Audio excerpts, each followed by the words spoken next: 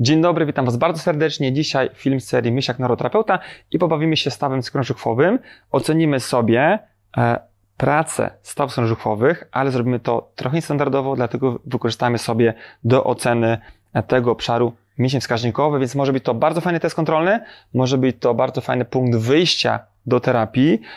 To już dla niektórych będzie sporo, a naprawdę uwierzcie mi, z tego można zrobić konkret, kombo, będziemy to robili. Robimy to na kursie NIT, robimy sobie to na kursach online'owych, ale e, zobaczcie, jak możecie urozmaicić ocenę stawów skrążuchwowych, wykorzystując proste narzędzie z neurostyki terapii, także bawcie się dobrze. Dobra, słuchajcie, czyli jesteśmy w tematyce stawów skrążuchwowych i wykorzystamy sobie bardzo proste e, narzędzie z e, norskiej terapii, czyli wykorzystamy sobie wskaźnik i przy okazji ocenimy sobie ruch w obszarze właśnie stawów skrążuchwowych. To jest coś, co możecie wykorzystać niemalże od razu i może być bardzo fajnym punktem wyjścia do waszej pracy. Dlatego, że jeśli chodzi o ten obszar staw skrążuchwowych, to przyjdą nas osoby, które będą miały jakiś dyskomfort, oczywiście, nie mówię o jakichś hardkorowych tematach typu szczękościsk, po prostu nie mogą jeść, ale mogą uczuwać duże napięcie obustronne, mogą uczuwać duże napięcie jednostronne, mogą uczuwać jakieś klikania, strzelania właśnie w stawie skrążuchowym. To się też może przekładać, ten, problemy tego stawu na problemy związane z uszami, ze słuchem, z szumami usztymi, ale też z bólami, napięciowymi bólami głowy, więc obszar na pewno warty zaopiekowania i teraz nie będziemy robili takiego bardzo dokładnego i standardowego badania tego obszaru, bo to zrobimy sobie w ramach e, kursu online'owego e, stawy skrążkowe okiem neuroterapeuty, ale chcę, Wam dać narzędzie, które może być fajnym punktem wejścia w NIT, w test nerwomięśniowy, wykorzystując właśnie obszar stawów skroniobrzuchowych. Jest z nami Monika i teraz plan jest taki, żeby to dobrze zrobić, potrzebujecie mięsia wskaźnikowego. Mięsień wskaźnikowy wielokrotnie się pojawia na materiałach. Jest to obszar po prostu, który działa dobrze. E, natomiast e, będziemy go wykorzystywali do tego, co się dzieje w przypadku różnych ruchów stawach sążuchowych właśnie z tym mięsiem wskaźnikowym. Docelowo nie powinno się wydarzyć nic, dlatego że weźmiemy sobie obszar klasyczny, klasyczne miejsce, w, które wykorzystujemy bardzo często, obszar stawu ramienno-podkowego, obszar e, zginaczy, jest taki globalny test dla zginaczy. Dla mięśnia ramiennego, częściowo dla bicepsa, dla mięśni, które będą wykonywały właśnie to zgięcie kilkadziesiąt stopni w stawie ramienno-łopatkowym. I ten obszar wychodzi nam wyjściowo silny, to znaczy, że go obciążam lekko, mocniej, mocniej, mocniej, mocniej, nic nie dzieje, wykonuję manipulacje nerwowo-mięśniowe albo odruch ucieczki, i dwa te materiały macie na naszym kanale YouTube'owym. Poszukajcie sobie. My też w opisie wrzucimy dokładne wytłumaczenie i testów e, pod kątem manipulacji wrzecionek i odruchu ucieczki, więc sprawdzam. Manipulacja obciążam tak samo i się okazuje, że ten obszar mi się wyhamowuje, więc wiemy, że ten mięsień jest normotoniczny, czyli układ nerwowy zarządza dobrze tym obszarem. Super, może być naszym mięsiem wskaźnikowym. I teraz wykorzystujemy sobie proste ruchy. Oczywiście możemy sobie zacząć od tego, że poprosimy na przykład Monikę, żeby mocno zacisnęła zęby. Czyli sprawimy sobie zwarcie. Trzymaj. I widzimy, że zwarcie, coś się wydarzyło. Już ten mięsień nie reaguje, rozluźni się. Jest to informacja związana z tym, że prawdopodobnie tego napięcia mam za dużo. Nie powinno tak być. Dzięki za uwagę. Mam nadzieję, że bawiliście się dobrze przy tym krótkim materiale i że będziecie w stanie wykorzystać to w swym gabinecie ale możliwe, że część z Was to już robi. Także w komentarzu osoby, które praktykują taką e, pracę, takie podejście, dajcie mi koniecznie znać, e, jak to Wam się sprawdza w gabinecie.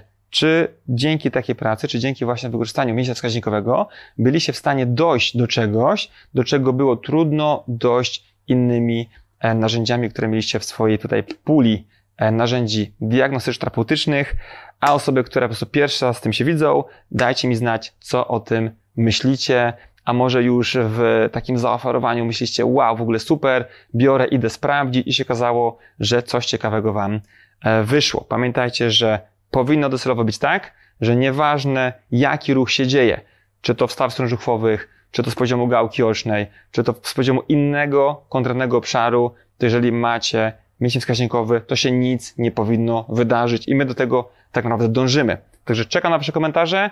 Dzięki za uwagę i do zobaczenia. Widzimy się w kursach online'owych i oczywiście na sali szkoleniowej. Trzymajcie się. Gdzie? Ciężko powiedzieć, dlatego że może być to obszar e, żwaczy, może obszar e, mięśni skroniowych, które wykonują, może być to obszar mięśni skrzydłowych, możliwości jest sporo. Może być to problem obustronny, może być to problem jednostronny, może być to punkt wyjścia w pracy. Jak Monika to jest zaciskawa, akurat tego do końca nie widzicie, e, ale pojawi się jakaś lekka nierównowaga, e, tak, że tutaj widać, że go napięcie jest więcej, nawet po linii Twoich ust to widać trochę, że jakaś tutaj lekka asymetria jest. Ona też nie musi znaczyć nic złego, bo my nie jesteśmy symetryczni, ale od razu informacja, hmm, może to będzie istotne. Zobaczymy. Rozluźnij się. Chcemy, żeby Monika wróciła do pozycji wyjściowej, czyli ok, dalej działa to dobrze. I teraz poproszę Ciebie sobie otworzyła usta szerzej. Szerzej, szerzej, szerzej, szerzej. I tutaj rozluźnij się. Ta sama sytuacja. Znowu nam wpadł ten obszar, ten mięsień wskaźnikowy w hipertonie, czyli nadmierne napięcie, znaczy nie reagował na manipulację nawrzecionka. Znowu punkt wyjścia, być może jest dużo napięcia w obszarach mięśni, które wykonują te rozwarcie. Na przykład mięśni nadpodgnykowych, które będą wykonywały ten ruch rozwarcia, otwarcia. Chociaż może być to też problem w obszarze mięśni, które wykonują w tym momencie skurcz ekscentryczny, czyli dalej żwacz skorniowy. My tylko widzimy, że dany ruch e, nie jest e, prawidłowy. Czyli bardzo mocno będzie obciążał nam e, system, bo to nie jest tak, że w hipertonie wpada tylko i wyłącznie ten obszar stawu ramienno-podkowego, tylko wszystkie, prawdopodobnie, nie możemy tego sprawdzić w tym momencie, ale wszystkie mięśnie, które będą, które są wyjściowo neuromotoniczne, ten ruch może zaburzać, tak? I to nie jest e, już e, w porządku, bo jest to obszar, który mocno, mocno rezonuje. Czyli może rzeczywiście wpływać na wiele tematów. Sami też niestety nie wiemy, czy on jest przyczyną czy skutkiem. Wiemy, że tam nie jest e, ok. Dobra. E, oczywiście to są dwa kluczowe ruchy, czyli zaciskamy zęby, otwieramy zęby. Możemy to zobaczyć sobie e, być może w którym momencie tego otwierania pojawia się temat. E, rozluźnij się. Powoli sobie otwórz lekko usta.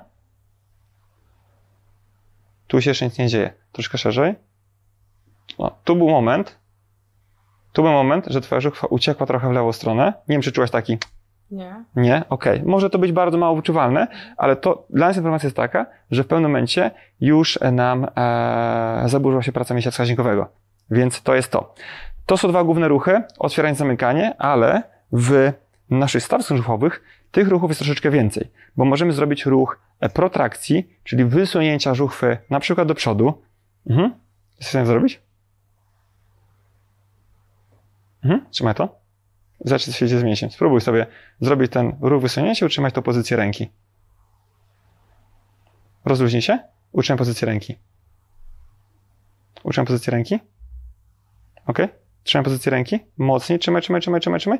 A teraz wysuń żuchwę do przodu. I trzymaj rękę. Trudno, nie? Nie da się. E, być może da się, ale będzie wymagało, wiecie, znowu niewiarygodnego napięcia w ciele, angażując tą samą, starając się obciążyć, e, angażując tą samą ilość e, jednostek motorycznych, praktycznie jest to nie do zrobienia, więc duża e, różnica. A znowu wiemy, że tak nie powinno być. To nie jest tak, że każdy, kto wysuwa żuchwę do przodu, ma od razu mniej siły na obwodzie. Mamy też ruchy doboczne. Możemy sprawić sobie ruch żuchwy w jedną stronę. Ok.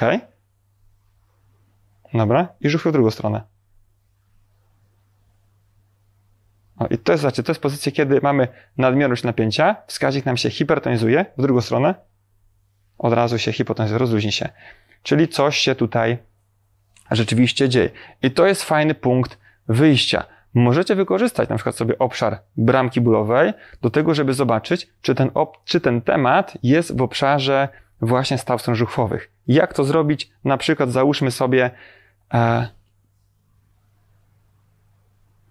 zrobilibyśmy na przykład taki trik, gdzie byśmy sobie zastymulowali mocno obszar samych stawów, znaczy ja robię, robię specjalnie większy obszar, żeby sobie e, znaleźć e, być może miejsce podrażnione, nie ominąć go, robię sobie to obustronnie, żeby zobaczyć, czy w ogóle praca tutaj będzie e, czy w tym przypadku będzie potrzebna praca lokalna, tak? Czy ja sobie stymuluję mocno tutaj ten obszar.